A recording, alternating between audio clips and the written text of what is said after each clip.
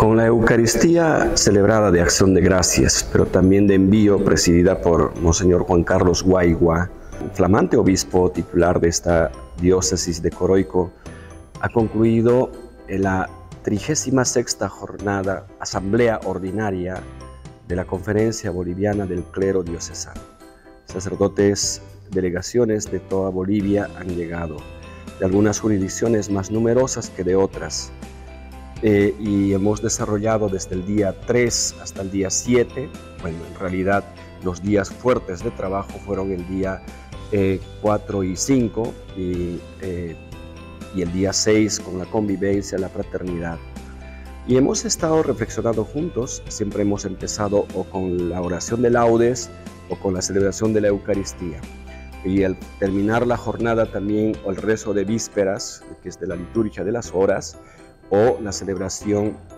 de la Santa Eucaristía. Esto es fundamental para nosotros eh, en estos encuentros de sacerdotes, la celebración de la Santa Eucaristía eh, o, la, o, la, oración eh, juntos. Y después hemos compartido espacios de reflexión. el primer día reflexionamos con la ayuda de, de Monseñor Eugenio Cotter, obispo del Vicariato Apostólico de Pando, el tema de la Amazonía. ¿Cuál es el vínculo, el compromiso de la vida del sacerdote con el cuidado de la casa común? Y ahí, hay unos eh, temas muy fuertes, preocupantes, eh, que también nos incumben a nosotros como sacerdotes para poder concientizar y para poder también tomar acciones concretas respecto a este tema del cuidado de la casa común eh, desde nuestras parroquias, en nuestras jurisdicciones o vicarías que eso también saldrá en las conclusiones.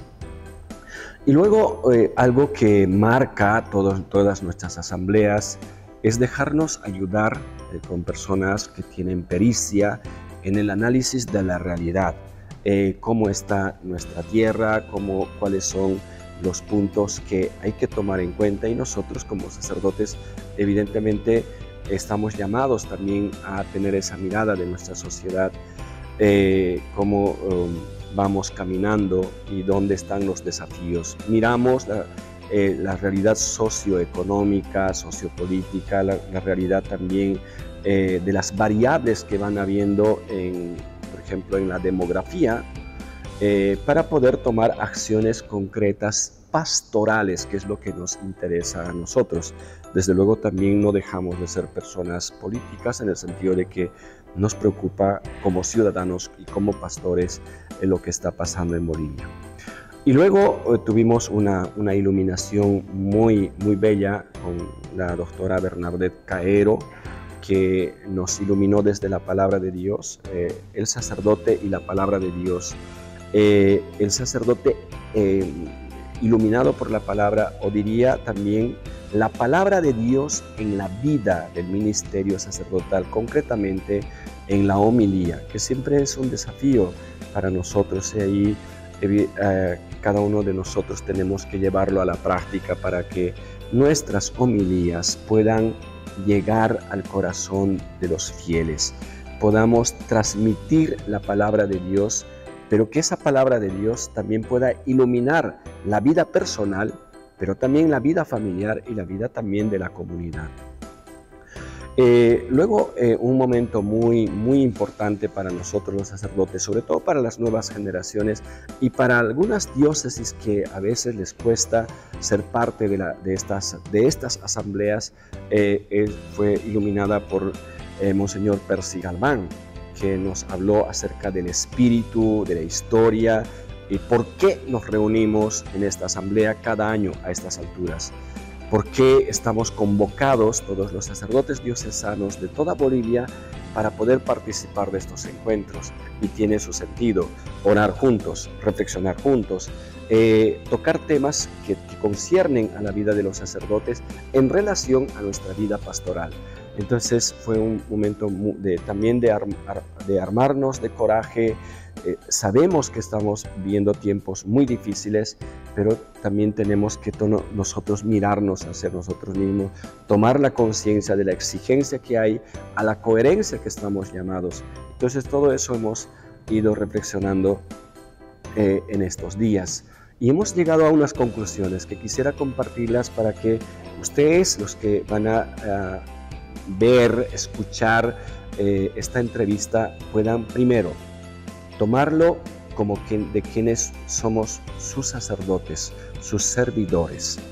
que lo único que buscamos es buscar de servirles y de la mejor manera, que muchas veces podemos equivocarnos y lo que se trata es también que estos encuentros nos ayuden a corregirnos. Oye, hermano, eh, eh, seamos más humildes en el servicio, seamos más cercanos en el servicio, que a veces se nos puede, se nos puede ir también en nuestra fragilidad, en nuestras limitaciones también de nuestro carácter, por ejemplo. Algunas conclusiones quiero compartirles eh, respecto a esto de la ecología. Tenemos un compromiso de, de buscar junto con nuestros obispos, los pastores de la iglesia, elaborar una carta en el que nos hagamos eco acerca de los grandes daños que se está haciendo en una explotación desmesurada eh, de, eh, sobre todo con el tema aurífero del, oro, eh, cómo se están contaminando los ríos, cómo se están agotando y entonces ahí, de hecho, también los datos de la, que, se tiene acerca de, cuánto se ha explotado el oro y cuánto se ha vendido son realmente, están casi por encima de aquello que habitualmente ha sido la economía, o sea, es decir, la parte de la economía de nuestro país, por ejemplo, de la venta del, gas, de todo lo que se llama el, petróleo, fundamentalmente el gas. Y ahora es el, oro, pero ¿dónde se distribuye? ¿Cómo se distribuye? ¿Quiénes hacen esta explotación? Eh, nos vamos a hacer eco junto con nuestros pastores. Nosotros les vamos a pedir a través de una carta. Pero también nosotros estamos comprometidos. Hemos dicho que el 1 de eh, octubre que es el día de, con motivo de la fiesta de San Francisco de Asís, vamos a tener eh, dos eventos. Una jornada de concientización, de unas charlas, de unas ponencias, eh, que cada uno en sus, en sus jurisdicciones, en sus parroquias va a hacer. Tenemos este compromiso. Y otra jornada concretamente de una limpieza, de una jornada de limpieza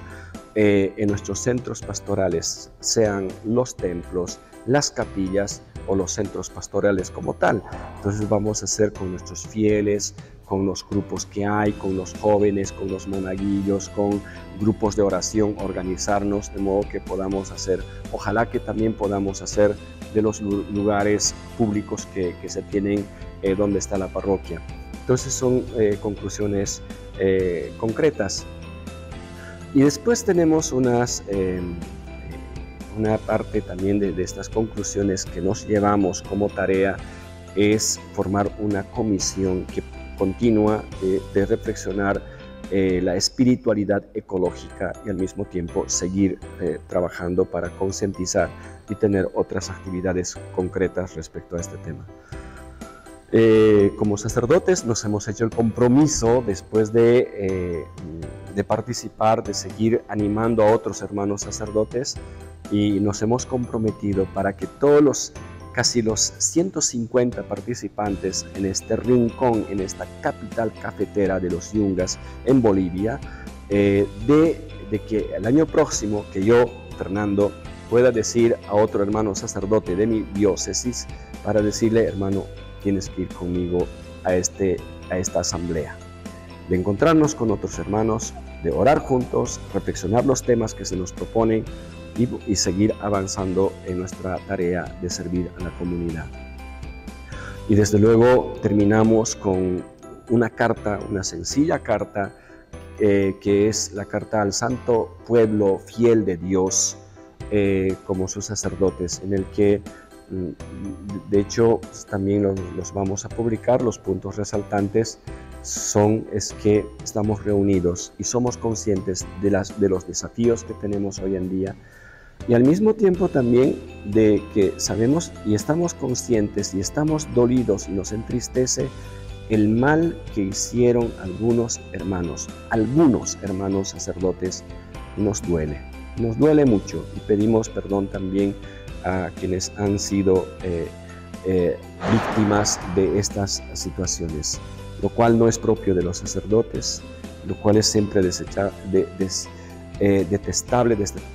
todo punto de vista, pero también al mismo tiempo que se no, no, se nos ponga en la misma eh, bolsa a todos. estamos nosotros llamados a reivindicar la imagen del sacerdote eh, para que no nos digan que todos los curas son así o son así, sino que, que cada uno de nosotros con humildad, con servicio,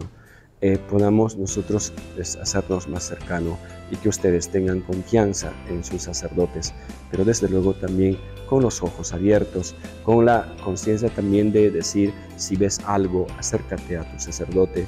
puedas también tener la oportunidad de hablar, corregirle, de, guiarle y sobre todo la oración. Entonces así hemos concluido esta 36 sexta asamblea del clero diocesano.